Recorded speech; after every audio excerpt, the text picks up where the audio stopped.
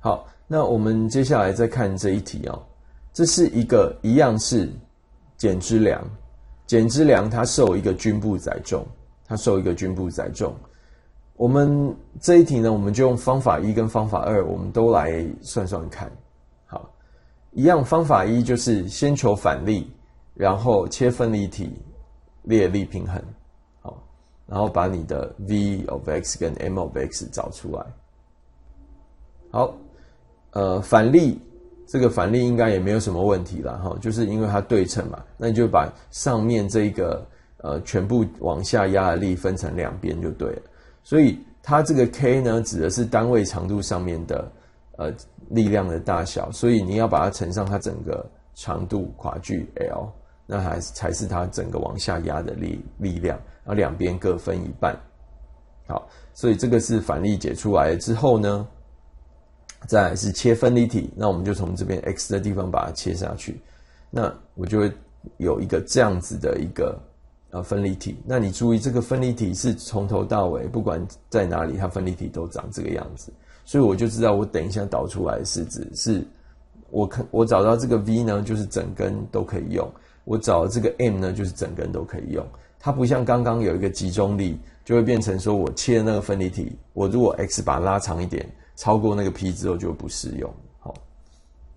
好，那这个东西弄出来之后呢，我 summation f of y 等于零，很快的我就可以找出我的 v of x 加上我这一个 kx，好，这个都是往下的，就等于往上是二分之 kl，所以我的 v of x 就是二分之 kl 减掉 kx。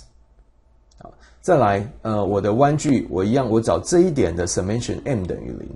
那所有逆时针的，就是包括这一个 m of x 跟呃这些往下的这个均布力量，对于这一点所造成的都是。呃，逆时针的弯距要等于顺时针弯距，顺时针弯距就只有这一个力量集中力造成的，所以顺时针的弯距就是二分之 kl 乘上 x，OK，然后逆时针的就 m of x，然后再加上这些全部这个长度是 x 嘛，然后再乘上它的强度是 k，呃，就是乘上 kx，那这 kx 代表的就是这边全部集中在一起的力量是那么大。然后呢，这些你原本对这一点的那个，这这整个军部力量对这一点所造成弯距，原本你是用积分的方式慢慢积去把它积出来，但是呃有一个比较简单的方式，就是你把这些全部的合力的大小作用在这一个形状的行星点，那也会得到一样的结果。我记得我们在应力上应该有做过这一个计算。那所以它的全部合力的大小就是 kx，你把它作用在它的行星点，就是因为它是均布的大小都一样，行星点就在正中央，这样加下来，所以这些力量对这一点的整个逆时针的弯距呢，就是 kx 乘上这一段力臂是二分之 x，好，所以是 kx 力乘上力臂二分之 x，好，这个加上 m of x 就是等于我顺时针的这个。这个逆时针的力矩就等于顺时针的力矩，好，所以我就可以用这个式子求出 m of x 是长这个样子，它是一个 x 的二次方，所以画出来应该是一条曲线，跟刚刚不一样。好，这是方法一告诉我们的算法。那而且我们求出来这个是整根都可以适用的。我呢，其实也可以利用 q m v 的关系呢，用积分的方式，因为这一题。它的 q 长得非常简单，它的 q of x 就是一个 constant k。好，所以我既然已经有这个，就是方法二的做法，我已经有了 q 它的方程式，那我就把它记一次，就会变成 v 的方程式，再记一次会变成 m 的方程式。OK，好，但是你要注意到边界条件的问题。好，因为我把 q 积分一次之后，然后同时不要忘记。Dv 除以 dx 是等于负 q，所以你积分的时候，我要积 v of x，你这个 q 前面要再带一个负号，再去积分，所以我就会写出这一条式子。那这个负 q，因为基本上它就是 k 了，好，就是负 k，那为什么这边是 t 不是 x 呢？因为 x 被我们拿来当这个变数哈。那可是我们我们现在变成切在这个距离这边端点 x 的地方，这样切下来，所以我们是要从零积到这个 x，OK？那因为但是 x 被我们拿来当做积分的呃上界，所以这边积分常数我变一个符号，好，所以它是一个亚变数，好，你也可以用可思议啊或什么都可以，好，只是为了让它弄出来变成一个 x 的函数而已。那我们没有办法，因为 x 放在这边呢，我们这边就换另外一个符号。好，那这个东西，这个东西积出来的其实是呃这之间的一个变化。好，那所以你必须要把在 x 等于零的时候呢，x 等你你知道这之间的变化之后，你必须要知呃把它摆在一个对的位置，就是让那个位置让它符合呃简历的边界条件。这个边简历的边界条件是什么？就是说，你 x 带零的时候，它这个你这个式子做出来的这个结果呢，必须要符合这边在 x 等于零的时候，它简历到底是多少？这是一个边界条件。你也可以想成说，因为这一条式子如果不定积分积出来，会有一个积分常数，那个积分常数就是用边界条件来把它解决掉。好，x 等于零的时候，请问那个时候的简历是多少？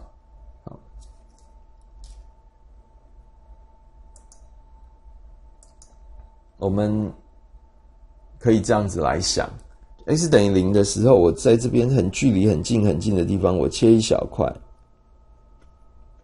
这边有一个二分之 kL，这样弄下来，所以这边呢要力平衡，它一定切开的那个东西要长这个样子，而且这个力量的大小就是要二分之 kL，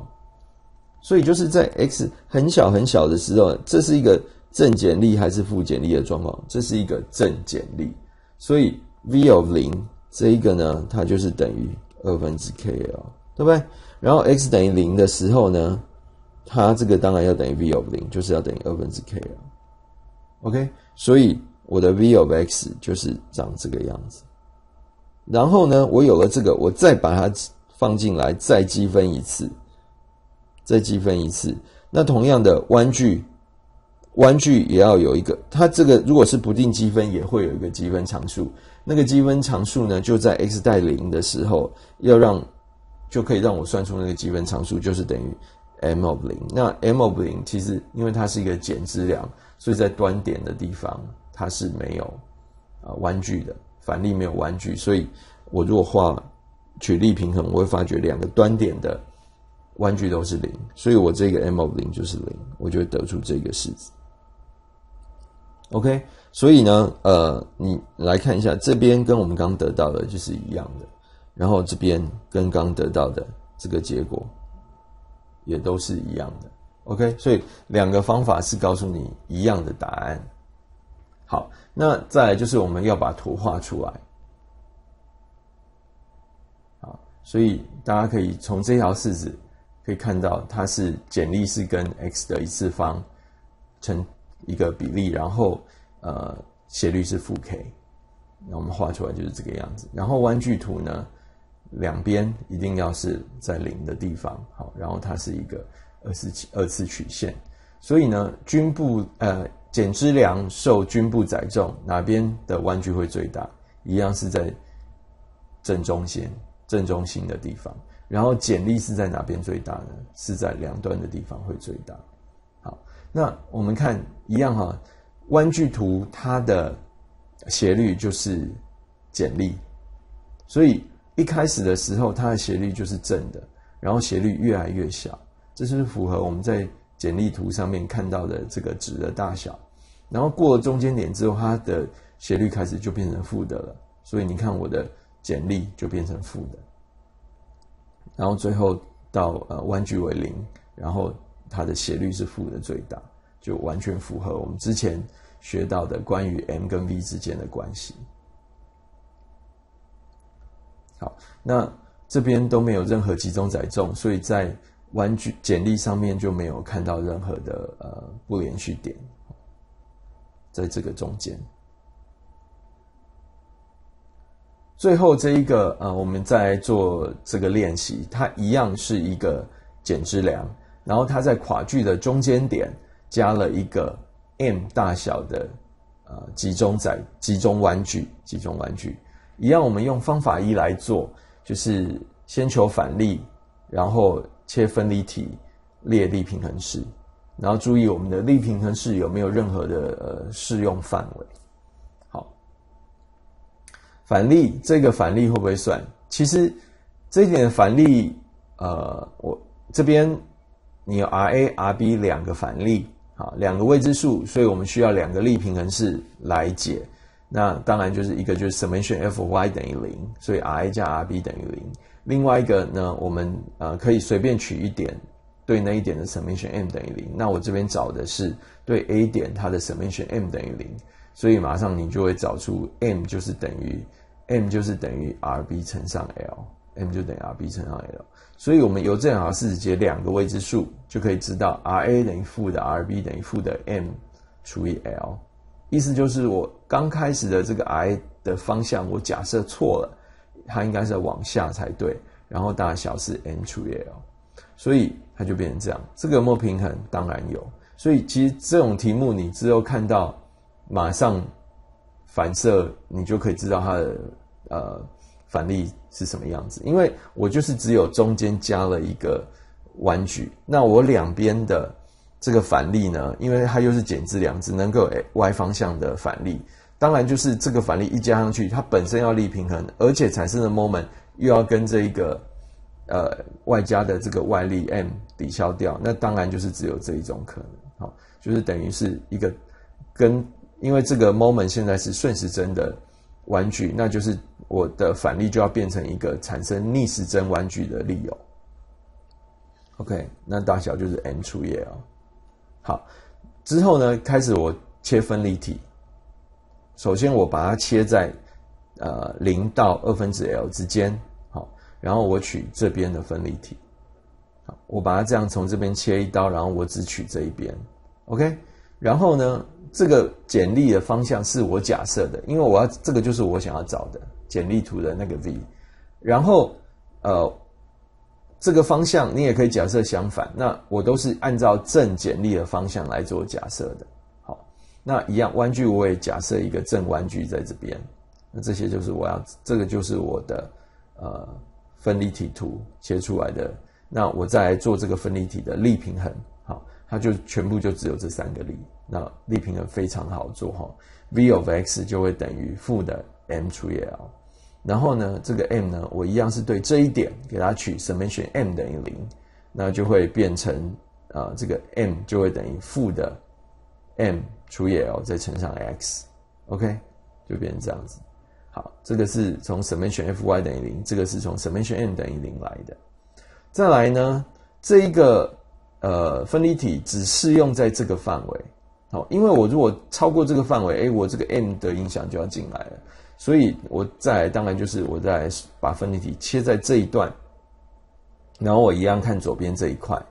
好，如果你把它切到右边这，你把它切过来之后，你其实不一定要看左边这一块，你也可以看右边这一块。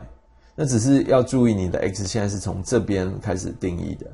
好，那你如果你看右边这一块的话，那你可能要换一个参数，或者是做一些变数变换。OK，好，那我现在还是看右边左边这一块。好，我的力平衡变成这样。那你注意，我一样是有假设这个我切开之后看到的简历跟弯矩，我都是用正方向来假设。所以我一样，summation f of y 等于零，summation f y 等于零，那我就可以知道 v of x 等于负的 m 除以 l，好，因为向下加向下等于零，OK，再来呢，这两个都是呃，再就是逆时针等于顺时针弯矩，所以我的，那然后这边也会有一个逆时针弯矩产，哎，顺逆时针弯矩产生，所以我的 m of x，我对这一点取弯矩。呃，summation m 等于零的话，逆时针的有 m of x 加上这个 m 除以 l 乘上这一段长度是 x，这个是逆时针弯矩，要等于顺时针弯矩就是只有这一个，好，这个本身加上来，所以我就会得到在这一段二分之 l 到 l 之间的时候，它的弯矩图会长这个样子。好，那我们再就是把它画出来。你注意它的结果，简历从头到尾都是负的 m 除以 l，OK。然后呢，它的弯距呢，前面这一段是呃从零开始啊，因为记住它又是一个减支量，所以两端的弯距是为零的，两个弯距是为零的。然后呃，这个斜率，然后呃，它这条式子你给它画出来，所以它斜率是负的 m 除以 l，OK。然后这边呢，斜率也是负的 m 除以 l，OK。但是这个部分比上一个部分呢多加了一个 m，所以造成它的弯距图长这个样子。好，那我们一样拿这个图来印证一下我们之前讲的一些关系哦。弯距图的斜率要等于简力，这个这个图的呃，这个这个图的简力从头到尾都是负的 m 分之 l。你有没有看到它的弯距的斜率从头到尾也一样都是负的 n 除以 l？OK，再来，呃，两边因为减质量的关系，弯距为零。还有我们中间加的这一个集中弯距。这个一个顺时针的集中弯距造成了它这一个呃弯距图有一个不连续点，好，然后这个不连续点就是往上跳了 m 的大小，就是刚好我们加的这个顺时针的大小。OK，其实你可以试试看，如果你加的是一个逆时针的，那这个图就会刚好完全相反过来，好，那它就会变成在这边从上面掉下来一个 m 的。呃，大小，OK，好，所以呢，然后这个集中弯距呢，只会在弯距图上面造成不连续点，并不会在我们的简历图上面造成不连续点。OK，这几点是想要呃，请大家去留意的。那在我们下一这些结论呢，在我们下一个影片里面也会用到。重点回顾一下，就是我们主要方法一的话，就是求解反例，切分立体列力平衡，同时注意我们力平衡的适用范围。这些原则掌握住了，相信你用呃这个列方程式的方法来画弯矩简历图的时候，就不会造成错误了。博声小雨出现哦，狂课二十题就变本本能了。那现在大家第一次做的时候，感觉就会有点复杂，感觉有点麻烦。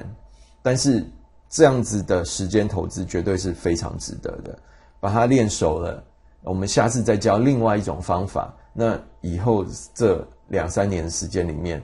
还有你以后的这个 professional 的生涯里面，你会一直用到这个东西的。好，那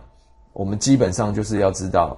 呃，一个结构物里面到底是受到正弯矩还是负弯矩，哪边的剪力比较大，哪边的剪力比较小，然后它剪力的方向是怎么样。这些是非常非常基本而重要的。最后一样是我们的版权图示。那我们这一个影片就到这边，谢谢大家。